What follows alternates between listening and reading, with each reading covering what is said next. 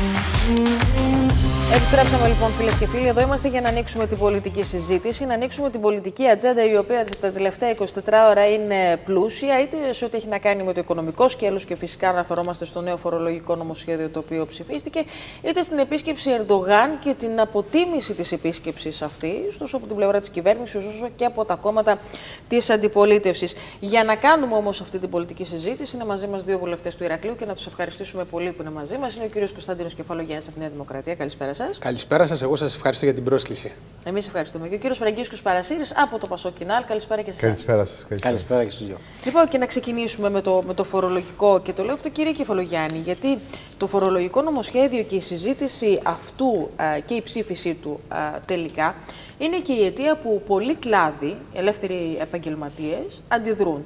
Ε, το, το, το εκμαρτό στην φορολόγηση είναι κυρίως ε, στο οποίο αντιδρούν ε, και δεν ξέρω κατά πόσο η κυβέρνηση θα μπορέσει να καλύψει αυτές τις ε, αντιδράσεις. Κοιτάξτε να δείτε, το συγκεκριμένο νομοσχέδιο δεν περιλαμβάνει μόνο το τεκμαρτό εισόδημα. περιλαμβάνει και μία σειρά μέτρων, μία δέσμη μέτρων για την πάταξη, καλύτερα για τον περιορισμό της φοροδιαφυγής, όπως είναι το, το My Data, όπως είναι τα ηλεκτρονικά τιμολόγια, όπως είναι η απαγόρευση ε, μετρητών ε, στις ε, αγοροπολισίες ακινήτων, όπως είναι η ολοκλήρωση της σύνδεσης των BOS με τις ταμιακές μηχανές. Μέσα στα μέτρα του νομοσχεδίου είναι και τα τεκμαρτά εισοδήματα. Αυτή τη στιγμή τι είδε η κυβέρνηση και το Υπουργείο; Είδε ότι το 70% των ελεύθερων επαγγελματιών δηλώνει χαμηλότερο εισόδημα από τον ανειδίκευτο εργάτη, από τον κατώτατο μισθό ε, είδε ότι το 54% δηλώνει ε, μηδενικά έσοδα ή ζημιές. Ε, γι' αυτό το λόγο έθεσε ένα μίνιμουμ ε, τεκμαρτού εισοδήματος, το οποίο όμως στη διάρκεια ε, της διαβούλευσης ε, το τεκμήριο αυτό έγινε μαχητό.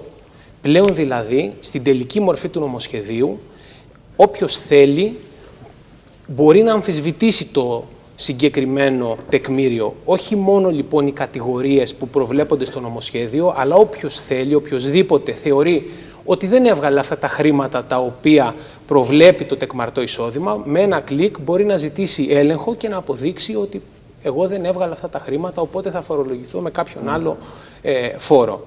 Αυτή λοιπόν είναι η λογική. Δεν πρόκειται για ένα οριζόντιο μέτρο όπως ε, διατυμπανίζει η αντιπολίτευση, αλλά ένα μέτρο ε, το οποίο θα βοηθήσει στην πάταξη της φοροδιαφυγής και το οποίο βέβαια προβλέπει εξαιρέσεις για τους πιο αδύναμους. Ξέρετε τι προκαλεί εντύπωση, κύριε Κεφαλογιάννη, πριν να ζητήσουμε το σχόλιο του κύριου Παρασύρη, ότι πολλοί κλάδοι ε, από το χώρο των οικονομικών, είτε οικονομολόγοι, είτε είναι φοροτεχνικοί, λένε Μα πώς γίνεται είναι το 2023 που υπάρχουν ελεγκτικοί μηχανισμοί, υπάρχουν τρόποι να ελεγχτούν τα εισοδήματα. Επιστρέφουμε σε αυτή την ε, λογική, η οποία ούτε λίγο ούτε πολύ αυτό που σχολιάζουν είναι ότι τσουβαλιάζει τους ελεύθερους επαγγελματίες, το ότι όλοι κρύβουν εισοδήματα. Δεν είναι αυτή η λογική του νομοσχεδίου. Ε, γνωρίζετε κι εσείς ότι η λογική των τεκμηρίων υπάρχουν σε φορολογικά συστήματα mm. όπως στην Ιταλία και στη Γαλλία. Ε, και, αλλά ακόμα και στη χώρα μας δεν είναι κάτι πρωτόγνωρο. Υπάρχει, για παράδειγμα, η αντικειμενική αξία των ακινήτων, που και αυτό στην πραγματικότητα είναι ένα τεκμήριο.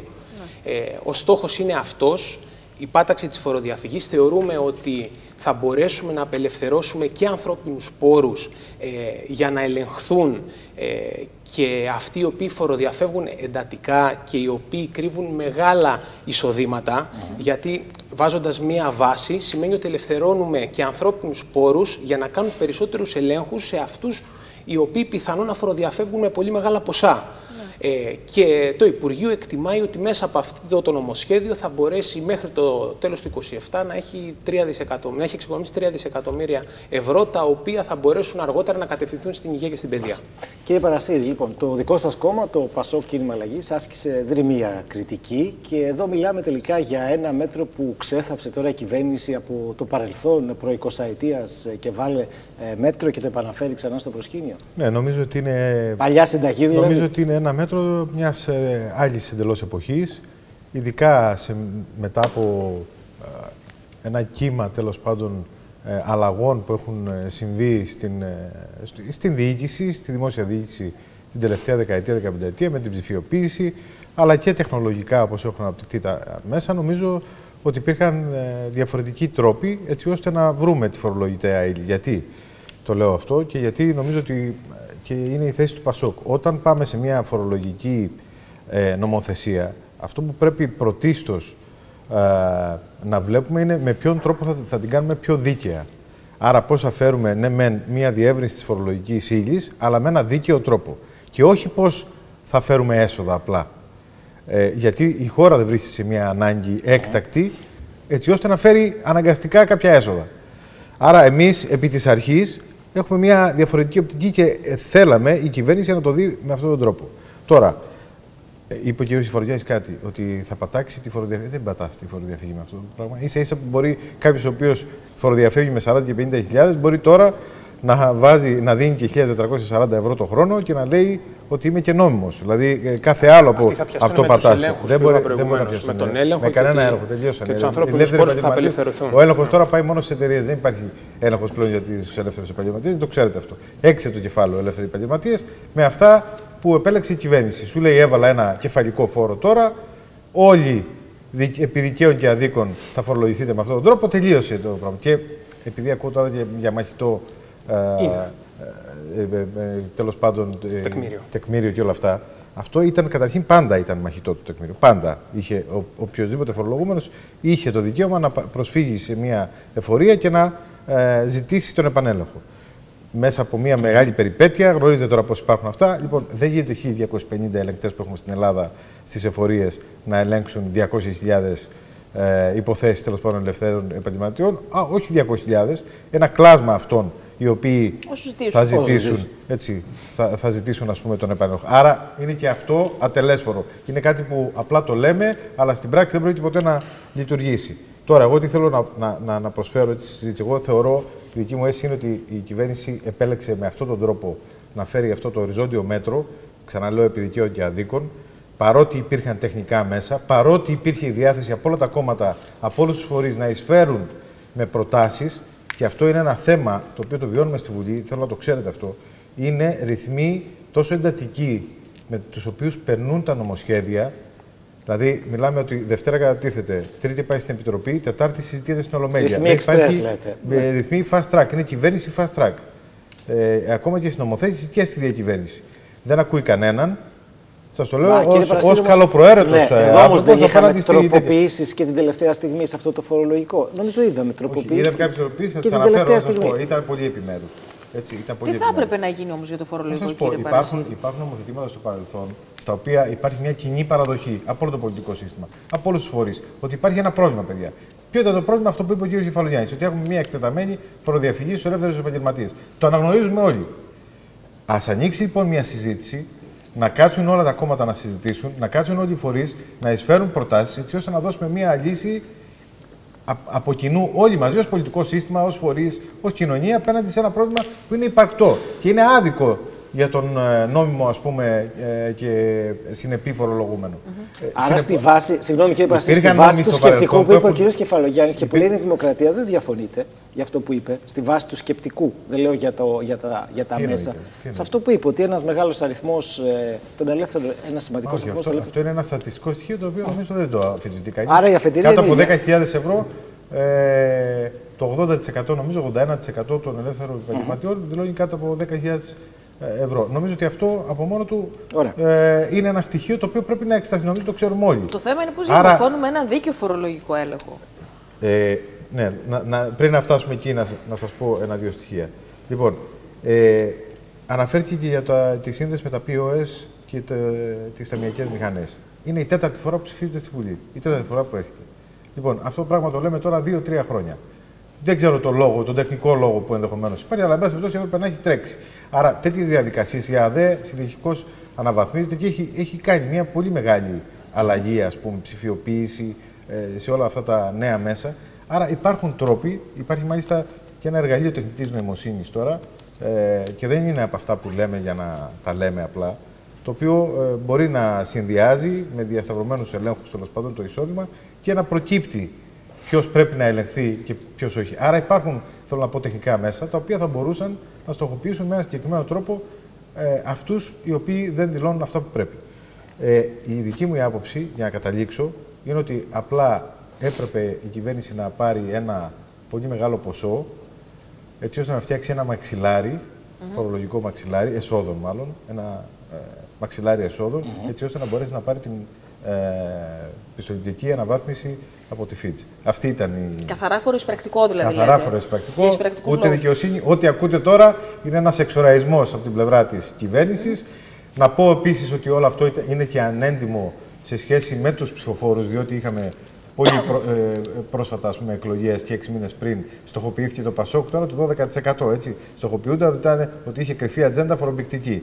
Και δεν είπαν πουθενά και ποτέ ότι θα συμπεριφερθούν με αυτόν τον τρόπο στους ελεύθερους επαγγελματίε. Κύριε Κεφαλογιάννη, είναι έτσι όπως Κοιτάξτε το, να το, δείτε. το θέτει ο κ. Α, Παρασίτη. και να- Όχι, να- όχι, δεν είναι έτσι. Όχι, δεν Και είναι θέλω έτσι. να προσθέσω, Όσον και αφορά κάτι, τις- θέλω να, να ναι. προσθέσω και κάτι στο ερώτημα. Αν τελικά είναι ε, ένας τρόπος απλά ε, για να, να εισπράξουμε άμεσα, να εισπράξουν το, το ελληνικό κράτος άμεσα α, χρήματα με δεδομένη και την απέτηση πολλών επαγγελματιών που λένε τι, ωραία να πιάσουμε αυτούς που φοροδιαφεύγουν, αλλά τι γίνεται και με τους συνεπείς, που είναι τα κίνητρα για τους α, συνεπείς ε, επαγγελματίες; Σίγουρα χρειάζονται και κίνητρα, ξεκινώντας δηλαδή από το τέλος του, ερω... του ερωτήματος, σίγουρα χρειάζονται και κίνητρα για τους συνεπείς.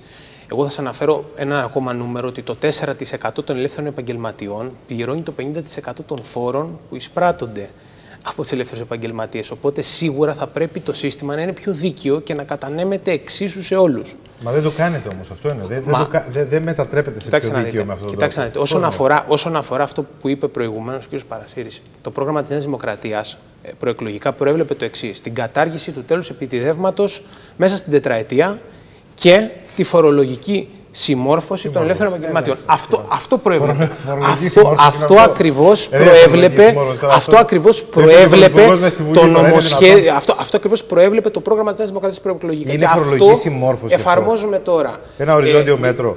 Η, η εξήγησα κυρία προηγουμένως- Νικολέτα Κύριε ε, Παρασύρη, Σφαγιανάκη, δώστε- κύριος, δώστε μου δύο τους λεπτά. βάζουμε 100 ευρώ φόρο. Εξήγησα Αυτό είναι. προηγουμένως- Αυτό είναι. εξήγησα Αυτό το πράγμα είναι. προηγουμένως Είναι γιατί δεν φορολογική είναι συμμόρφωση. οριζόντιο. Εξήγησα προηγουμένως γιατί δεν είναι οριζόντιο στην τοποθέτησή μου. Αλλά μπο- μπορώ να το επαναλάβω. Υπάρχουν κατηγορίες που εξαιρούνται.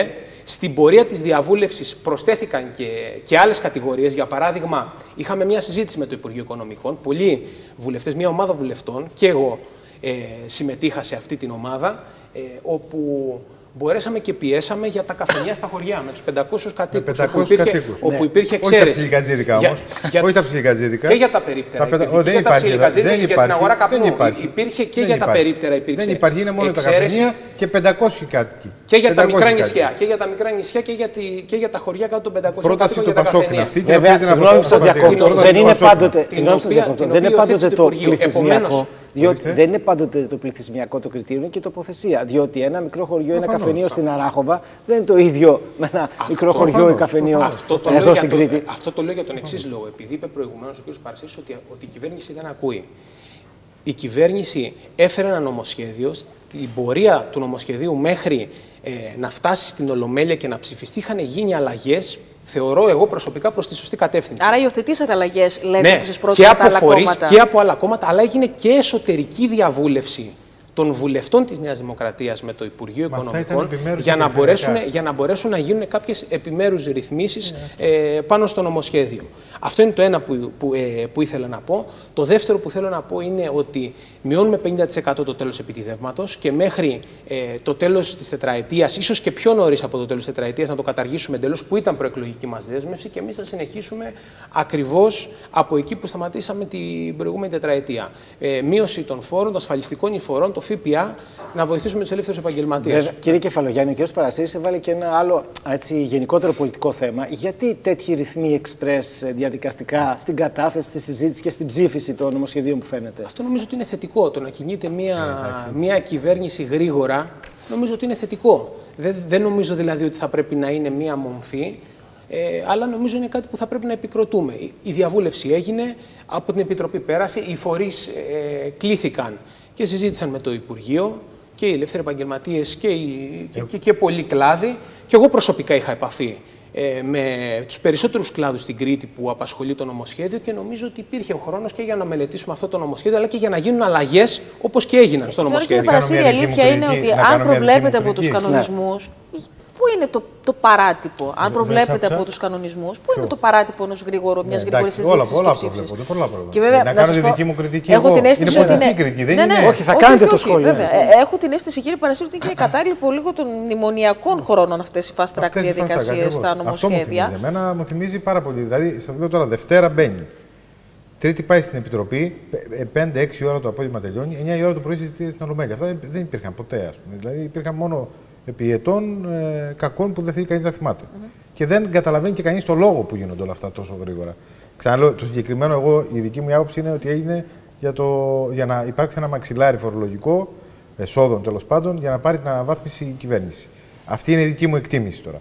Να κάνω μια άλλη ε, κριτική συνολικά με καλή την πίστη και καλή πρόθεση, ας πούμε, και να τα ακούσει ο κύριος Κεφαλογιάννης. Υπάρχει μια σειρά θεμάτων στα οποία επιτέλους το πολιτικό σύστημα που το έχει αναγνωρίσει, όλο το πολιτικό σύστημα τα έχει αναγνωρίσει ότι υπάρχουν ζητήματα ε, και πρέπει συνολικά να πάρουμε μια ευθύνη να τα λύσουμε στη χώρα. Θεωρώ ότι αυτό είναι το, το μεγάλο ζήτημα. Ποιο είναι το πρόβλημα, η φορολογική δικαιοσύνη. Πώς θα εισφέρουμε όλοι, φορείς και κόμματα από κοινού, έτσι ώστε να αλλάξουμε μια φιλοσοφία και να μην πάμε σε ένα οριζόντιο μέτρο. Ένα αυτό. Την προηγούμενη εβδομάδα ήρθε το ιδιωτικό χρέος. Δεν το ξέρουμε ότι το ιδιωτικό χρέος στη χώρα μας είναι ένα τεράστιο θέμα. Κάναμε, εμείς φέραμε 7 τροπολογίες ως Πασόκ μέσα στη Βουλή. Ο χρόνος μέσα στη Βουλή, να ξέρετε, είναι πολύ σύντομος. Ακόμα και να το μακρύνεις, θα πάει μια εβδομάδα, άντε 10 μέρες. Άρα χρειάζεται μια προεργασία. Θα σας θυμίσω, ας πούμε, το παράδειγμα του νόμου Διαμαντοπούλου. Θυμάστε πώς έγινε. Επί δύο μήνες, κυρία Διαμαντοπούλου, τότε, το 2011, δεν, λέμε, δεν, δεν κρίνουμε τώρα αν είναι καλός ή κακός ο νόμος. Προφανώς δεν Λέμε μπορούν να όμως- πάνε όλα όλοι οι νόμοι λέω- σε αυτή τη λέω μορφή. τώρα- όμως, έτσι. Ορίστε. Δηλαδή δεν μπορούν να πάνε όλοι οι νόμοι σε αυτή τη μορφή προφανώς Όχι, και μα σε αυτό τέτοιο λέω. Υπάρχουν χρονικό όμω κάποια διάστημα. κέρια θέματα, πολύ συγκεκριμένα και πολύ μεγάλα, που μοιραζόμαστε όλοι μια κοινή αγωνία ότι Έχει υπάρχει, δείξει όμως, κύριε υπάρχει Παρασυρή, η ένας πολιτική προβληματισμός. μας- έχει νομίζω δείξει η ότι, πολιτική νομίζω μας ε, ιστορία. ότι η κυβέρνηση, επειδή δεν δείχνει και δημοσκοπικά να απειλείται από κάτι, Ναι. αντί να συμπεριφέρεται με έναν τρόπο, ο οποίος είναι ξέρω, εγώ, ένας τρόπος με ίηση ε, και, ε, πώς να το πω τώρα, με μια, δεν θέλω να πω αλαζονία, αλλά εν πάση περιπτώσει ότι εγώ είμαι και κανείς άλλος, αντί να συμπεριφερθεί με αυτόν τον τρόπο, θα μπορούσε, αφού δεν διακυβεύεται και ο βίος της, έτσι, ε, και δείχνει ότι έχει ε, υψηλά ποσοστά, θα μπορούσε λοιπόν να δοκιμάσει ένα διαφορετικό μοντέλο διακυβέρνησης. Εγώ αυτό σχολιάζω. σας βάλω Εγώ ένα αυτό δημοσιογραφικό- σχολιάζω. να σας ότι να βάλω μπορούσε ένα- να το μοιραστεί και νομίζω ότι, Κύριε νομίζω ότι Μακριά θα από το εμάς η πιστονόταν. αλαζονία. κιόλας. Επιτρέψτε Οποιαδήποτε μου. αλαζονία Νομίζω θα το μακριά, πιστ- μακριά θα το από εμάς πιστονόταν και κιόλας. νομίζω ότι Επιτρέψτε αυτό μου, το θα εκτιμάει απαντήσετε και ο κύριε ίδιος ο Κεφαλογιάννη, κόσμος, απλά ναι. να βάλω ένα δημοσιογραφικό προβληματισμό, κύριε Παρασύρη. Γιατί είναι, Δηλαδή, να- νομίζω, να- μια διαπίστωση όλων ότι σε μεγάλα θέματα, εθνικά, οικονομικά, ε, θέματα τα οποία έχ- απασχολούν ολόκληρη την κοινωνία, θα έπρεπε να βλέπουμε από τα Ακριβώς, κόμματα ακριβώς, αυτό μια συζητάμε, αυτό διάθεση λέμε. να καθίσουν σε κοινό Αυτό τραπέζι. λέμε. Το έχουμε δει στην Δηλαδή, γιατί πράξη. το φορολογικό όμως. πρέπει να είναι Διαχρονικά ένα, θα ένα σας πω νομοσχέδιο εγώ. ας πούμε, τριών ημερών. Το έχουμε δει όμως Το στην οποίο, πράξη. το οποίο απασχολεί. Να προχωράει αυτό, σαν Είπα σχέδιο. ότι η σαν... χώρα, η χώρα έχει περάσει, ξέρετε, μια πολύ μεγάλη ταλαιπωρία. 15 Συμφωνώ χρόνια μαζί τώρα. σας αυτό που λέτε. Συμφωνώ. Ε, ε, το πολιτικό σύστημα έχει οριμάσει. Εγώ τον βλέπω και ήμουν βουλευτής και παλιότερα, έχει οριμάσει. Και η πολιτική είναι διαφορετικής ποιότητας και με διαφορετική οπτική κτλ. Λοιπόν, είναι μια συνθήκη κατάλληλη στην οποία θα μπορούσαν τα κόμματα και οι φορείς σε μεγάλα θέματα, δεν συζητάμε τώρα σε όλα τα θέματα, προφανώς υπάρχουν διαφορετικές ιδεολογικές προσεγγίσεις. Και προφανώς η αντιπολίτευση δεν αξιώνει από την κυβέρνηση να υιοθετήσει τη δική της ατζέντα. Προφανώς. Αλλά, ας πούμε, το, είπε τώρα ένα παράδειγμα. Στους κατοίκους με 500. ε, Στου, με συγχωρείτε, στα χωριά με 500 κατοίκους. Τα καφενεία, ας πούμε. Και τα μαγαζιά που λειτουργούν εκεί και δίνουν μια ζωή στην ύπεθρο. Και το γνωρίζουμε πολύ καλά, ας πούμε. Δεν είναι ένα μέτρο το οποίο εισέφερε θετικά 100%. και βελτίωση, Σωστά, το βελτίωσε το νομοσχέδιο. Σωστά. Συμφωνούμε. Αυτό το 500 θα μπορούσε βέβαια να είναι 1000. Μα σε αυτό Γιατί εμείς συμφωνήσατε, είπαμε- ούτως ή Αυτό άλλως. θέλω να πω λοιπόν. Άρα υπάρχει μια σειρά μέτρων περιφερειακών επιμέρους, αλλά εγώ θα έλεγα και ο πυρήνας, αντί να πάμε σε ένα κεφαλικό, ας πούμε. Που να μοιραστούμε και το κόστος το πολιτικό. Δηλαδή τώρα η κυβέρνηση, με αυτή την έννοια το λέω, ότι και η κυβέρνηση, ας πούμε, τώρα ε, έχει υποστεί ένα πολιτικό κόστος από μια επιλογή που έκανε, την οποία αν με έναν άλλο τρόπο διαχειριστεί τα πράγματα για να κάνουμε καλό στην πατρίδα, γιατί όλοι βρισκόμαστε εδώ, κάνουμε καλό στον κόσμο. Λοιπόν, θεωρώ Γι' αυτό ότι, όμως, θεωρώ ε, ότι διαβάζετε είναι- κι αλλιώς, εγώ- κύριε Παρασυρή, Εγώ αν λέω έχει- ότι πρέπει να υπάρξει ένα διαφορετικό μοντέλο διακυβέρνησης και νομίζω ότι αυτό, να ξέρετε, σιγά σιγά ο, η κυβέρνηση Μητσοτάκη θα το δείτε ότι αυτό θα είναι η αιτία που θα αρχίσει να απομειώνει ε, δυνάμεις. Και να πω, για να το κλείσω, γιατί νομίζω ότι είναι, γιατί είπα, μιλήσαμε για τη φορολογική δικαιοσύνη. Είναι λοιπόν θέμα εσόδων. Στο θέμα των εσόδων, αφού μιλάμε για φορολογική δικαιοσύνη, γιατί η κυβέρνηση με, ε, ε, ε, καταργεί ας πούμε, το φόρο συγκέντρωσης κεφαλαίου στις μεγάλες εταιρείες και χάνει 43 εκατομμύρια από αυτή τη φορολόγηση. Γιατί δεν κάνει κάτι ας πούμε, για τις γονικές παροχές και μπορεί ένα ζευγάρι με δύο παιδιά, προσέξτε το αυτό το νούμερο, με δύο παιδιά ένα ζευγάρι μπορεί να δώσει, να κληρονομήσει, να κληροδοτήσει στα παιδιά του, αφορολόγητο, 9,6 εκατομμύρια ευρώ περιουσία. Αφορολόγητο. Δεν είναι άδικο αυτό το πράγμα. Είναι δυνατόν να. να Πόσες οικογένειες στην Κρήτη μπορούν να δώσουν 10 εκατομμύρια στα παιδιά τους αφορολόγητα; Πόσοι; Αφορά 100, 200, 300, 500 οικογένειες. Ναι, αλλά είναι από τέσσερις. Ναι, από παππού, από γιαγιά. Ναι. Βάρτε τους παππούδες όλους, βάρτε του. Μέχρι, μέχρι 10 εκατομμύρια ναι, ευρώ. Λοιπόν, Πώς γίνεται αυτό; Ωραία, και να μην αναλωθούμε μόνο στο φορολογικό, να περάσουμε να συνεχίσουμε και την πολιτική μας ατζέντα, διότι με βάση και την επικαιρότητα είχαμε την επίσκεψη Ταγί Περντογάν εδώ. Ε, η κυβέρνηση κάνει το δικό της ταμείο και ο κύριος Ερντογάν μίλησε για μια πετυχημένη επίσκεψη, έξι χρόνια μετά την προηγούμενη επίσκεψη που είχε κάνει εδώ. Κύριε Κεφαλογιάννη. Κοιτάξτε να δείτε, ο, ο κύριος Ερντογάν ε, όχι μόνο δεν ήρθε μία νύχτα ξαφνικά που έλεγε, αλλά ήρθε μέρα και με ραντεβού. Και από τα Μητσοτάκης γιοκ ε, που φώναζε κάποτε πήγε στο αδέλφια μου και αγαπητέ Κυριάκο Μητσοτάκη. Αυτό ε, αποδεικνύει τουλάχιστον σε επίπεδο ρητορικής ε, μία αλλαγή στη στάση της Τουρκίας. Εννοείται βέβαια πως ε, μένει να δούμε και στην πράξη τις καλές προθέσεις ε, του κυρίου Ερντογάν. και σίγουρα η Ελλάδα είναι μία χώρα που δεν φοβάται να διαπραγματευτεί τα ανοιχτά ζητήματα, δεν διαπραγματεύεται όμως και υπό το καθεστώς φόβου και διαπραγματεύεται πάντοτε στη βάση του διεθνούς δικαίου. Εμείς ε, βάζουμε μπροστά τη σύμβαση της Λοζάνης, τη συνθήκη της Λοζάνης που έχουν υπογράψει δύο, τα δύο κράτη. Γι' αυτό και ο Πρωθυπουργός μίλησε για μουσουλμανική μειονότητα στη Θράκη, κάτι το οποίο προβλέπεται. Για τουρκική κάτι το οποίο προβλέπεται. Ναι, όμως, ε, δύο η, η, η, εξωτερική ελληνική πολιτική και προσωπικά ο Πρωθυπουργός έθεσε τις κόκκινες γραμμές. Η, η Σύμβαση της Λοζάνης μιλάει για μουσουλμανική μειονότητα και για ελληνική μειονότητα αντίστοιχα στην Τουρκία. Ε, επομένως αυτό είναι μια κόκκινη γραμμή. Έθεσε μια ακόμη κόκκινη γραμμή όσον αφορά το Κυπριακό. Ε, η Ελλάδα ε, αποδέχεται τις αποφάσεις του ΟΗΕ, δεν αποδέχεται όμως αυτό που λέει η Τουρκία για λύση των δύο κρατών στην Κύπρο. Είναι μια κόκκινη γραμμή ε, για εμάς. Ε, επομένως, τεθήκανε τα ζητήματα που έπρεπε από το ελληνικής πλευράς.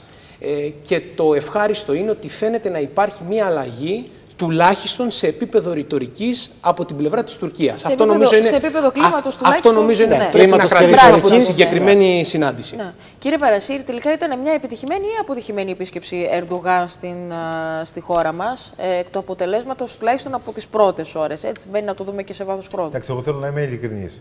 Ε, Εμείς περιμέναμε κάτι διαφορετικό. Όλοι νομίζω οι εγώ σας το λέω τώρα και ως παρατηρητής, περίμενα κάτι διαφορετικό. Περίμενα κάποιο είδους όξυνση, κάποια αιχμή, εν πάση περιπτώσει, να αφαιθεί μέσα από τη συνάντηση. Νομίζω δεν προέκυψε κάτι τέτοιο. Ε, βγήκε ένα καλό κλίμα, ένα θετικό κλίμα, μια θετική ατζέντα, την οποία εντάξει ήταν και μια soft ατζέντα, ήταν μια μαλακή ατζέντα δηλαδή, αυτή που συζητήθηκε.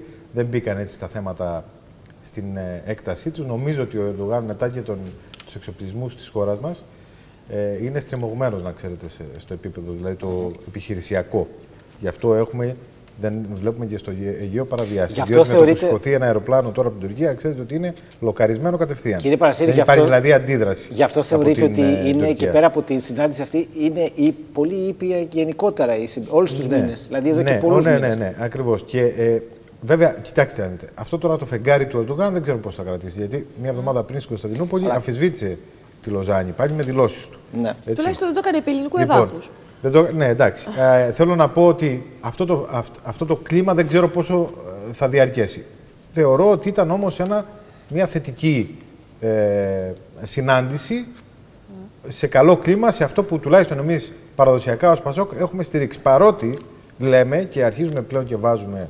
Γιατί μπορεί να είναι και μια στρατηγική Ερντογάν αυτή, γιατί πρέπει να, να πάρει τα F-35, πρέπει να πάρει τα Eurofighter, πρέπει να δείξει ένα καλό πρόσωπο. Δεν ξέρω αν, αν δηλαδή αυτό είναι κομμάτι μιας στρατηγικής καλού προσώπου, mm -hmm. προς τρίτους. Αναγκαστικά, να ξέρετε, η, η, η σχέση της Τουρκίας με την Ευρώπη περνάνε πάντα μέσα από την Ελλάδα. Αυτό είναι, είναι ε, αναγκαστικό, ας πούμε, ε, αναγκαστική δίωδος. Ε, αλλά και η σχέση της με την Αμερική, σε κάποιο βαθμό. Συνεπώς, νομίζω ότι ε, κρίνοντας ότι σε αυτή τη φάση πρέπει να είναι σε μια ηρεμία η σχέση με την Ελλάδα, νομίζω ότι συμπεριφέρθηκε με τον συμπεριφέρθηκε και εγώ το πιστώνω αυτό το πράγμα σε όποιον το. Ε, το, το πιστώνετε στον Ερντογάν. Στο Μητσοτάκι πιστώνετε καλή και εξωτερική Και στην κυβέρνηση, γενικά στην χώρα μας, κοιτάξτε, στα θέματα εθνικής πολιτικής πρέπει να είμαστε όλοι, νομίζω, σε μια ε, κοινή ε, γραμμή. Νομίζω ότι ήταν μια θετική τέλος πάντων έκβαση. δεν, α, δεν αφέθηκε κάποια αιχμή, δεν μπήκε θέμα αποστρατικοποίησης, γιατί εγώ είχα μια υποψία ότι θα μπει και όχι το ζήτημα ναι, το, το, της αποστατικοποίησης ας πούμε, στην ε, ατζέντα. Βέβαια τώρα όταν συνομίλησαν οι δύο τους δεν ξέρω τι μπορεί να είπαν, αλλά εν δεν βγήκε κάτι τέτοιο προς τα έξω, που σημαίνει ότι και κάτι να υπόθηκε ήταν άτυπο και δεν ήταν ε, σε ένα επίσημο επίπεδο, άρα δεν μπορούμε να το ε, σχολιάζουμε. Ε, άρα νομίζω ότι, ε, εντάξει, δεν, ξαναλέω όμως δεν ξέρω κατά πόσο είναι μια στρατηγική Ερντογάν Ενό αυτό το... διαστήματος συγκεκριμένου. Αυτό το ερώτημα θέλουμε να θέσουμε στον κύριο Κεφαλογιάννη. Το... Αν, ναι, ναι, αν έχει ναι. επιφυλάξει, αν υπάρχουν επιφυλάξεις στην κυβέρνηση ότι υπάρχει και κάποια κρυφή ατζέντα από ναι. πίσω και κάποιο κίνητρο, αυτό που λέει και ο κύριος Παρασέση. Ότι εμείς, θέλει σκοπίμως να δείξει ένα πει, Εμείς είχαμε πει. Συγγνώμη κύριε Κεφαλογιάννη, μόνο αυτό. Εμείς έχουμε κάποιες επιφυλάξεις και μάλιστα μέσα από την ένταση που έχει επιδείξει το τελευταίο διάστημα ας πούμε, ο κύριος Ερντογάν απέναντι στην Ελλάδα και γνωρίζετε ότι έχει 1.200 φυλακισμένους δημοσιογράφους, ότι έχει 1.100 ακαδημαϊκούς στη φυλακή, ε, δεν είναι. ότι έχει τα ζητήματα δημοκρατίας, ότι απειλεί ε, το είναι Ισραήλ, απειλεί. Τη, ε, είναι απρόβλεπτος, κύριε Παρασύρη. Με τη Χαμάς, ας πούμε, υπερασπίζεται τη Χαμάς μια τρομοκρατική οργάνωση, ναι. κηρυγμένη τρομοκρατική από παντού. Έχει μία σειρά θεμάτων. Είχαμε αρχίσει να λέμε ως Πασό και νομίζω ότι αυτό είναι κάτι που πρέπει να το κρατάμε στο πίσω μέρος του μυαλού μας. Ότι παιδιά να τελειώνουμε με την υπόθεση ευρωπαϊκή πορεία και προοπτική της ε, Τουρκίας, γιατί είναι ένα τρομερό άλλο των Ευρωπαίων να πηγαίνουν να κλείνουν deals με τον Ερντογάν, η Γερμανία, η Ολλανδία, η Ισπανία και να συζητάνε υποτίθεται την ευρωπαϊκή προοπτική της χώρας όταν έχουν 1.200 φυλακισμένους δημοσιογράφους και 1.100 ακαδημαϊκούς μέσα στη φυλακή και τα δημοκρατικά δικαιώματα και τα ανθρώπινα στο επίπεδο που βρίσκονται στην Τουρκία. Συνεπώς, τι ευρωπαϊκή πορεία συζητάμε; Άρα τι να, θέλει να λέγαμε εμείς Ερντογάν. Ο Ερντογάν θέλει τελωνιακή σύνδεση. Ο Ερντογάν θέλει τελωνιακή σύνδεση με την Ευρώπη. Να μπορούν τα εμπορεύματά του ναι, να περνούν. Να περνούν Εμείς τι θέλουμε; Θέλουμε αυτοματοποιημένες κυρώσεις σε περίπτωση που έχουμε απειλή κατά των ανθρωπίνων δικαιωμάτων και απειλή να με θα πιαστώ από την τοποθέτηση του κ. Παρασύρη που ήταν και πολύ σοβαρή ε, και θα συμφωνήσω ότι η Ελλάδα αποτελεί το διαβατήριο της Τουρκίας για τη Δύση. Προφανώς καταλαβαίνουμε όλοι ότι ο Ερντογάν αυτή τη στιγμή και η Τουρκία έχουν να κλείσουν πολύ σοβαρά ζητήματα στα σύνορά τους με τους Κούρδους, με τη Συρία και φαίνεται ότι όσον αφορά τη στρατηγική τους με την Ελλάδα υπάρχει μια αλλαγή. Εμείς είμαστε σε θέση να εκμεταλλευτούμε αυτή την ευκαιρία στη βάση πάντοτε όμως του διεθνούς δικαίου και πάντοτε με εθνική αυτοπεποίθηση ώστε να αντιμετωπίσουμε οποιαδήποτε πρόκληση και οποιαδήποτε απειλή είτε στο Αιγαίο είτε στα σύνορά μας. Κύριε Παρασύρη, ένα τελευταίο σχόλιο και από εσάς. Τίποτα, εντάξει. Ε, ε, δεν, δεν συζητήθηκαν τα καυτά θέματα που έχουμε με την Τουρκία. Άρα αυτή περιμένουμε. Μια, αυτή είναι μια πραγματικότητα. Αυτά πάνε για την επόμενη Αυτά πάνε το σε ταξίδι. επόμενο στάδιο. Ναι.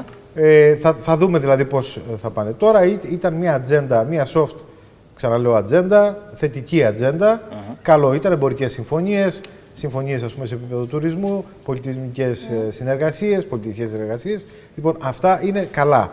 Όλα αυτά είναι καλά. Αλλά ξαναλέω, ε, θετικό βήμα, το υπογράφουμε. Μπράβο σε όσους το, το, το, το έφεραν μέχρι, το διεκπαιρέωσαν μέχρι αυτό το βαθμό. Uh -huh. Αλλά πρέπει να ξέρουμε και να έχουμε στο πίσω μέρος του μυαλού μας ότι μπορεί να είναι μια συνολική στρατηγική Ερντογάν για το πώς θα πάρει και θα κερδίσει από τη Δύση αυτά που θέλει να, να κερδίσει. Να πω βέβαια ότι περιμένει και 4 δισεκατομμύρια και θα, βάζαμε, θα βάζαν άλλες χώρες βέτο.